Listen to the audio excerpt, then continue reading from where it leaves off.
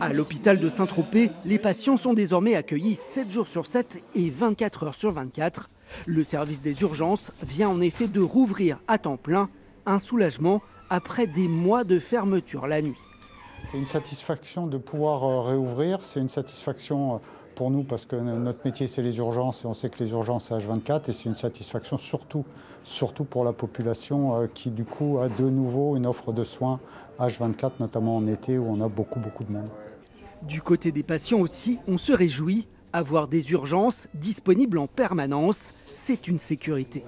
Pour le secteur, c'est bien quand même, parce que l'été, il y a beaucoup de, problèmes ici. Hein.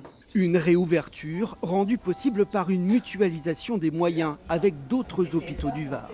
Concrètement, des médecins et des infirmiers viendront combler les manques.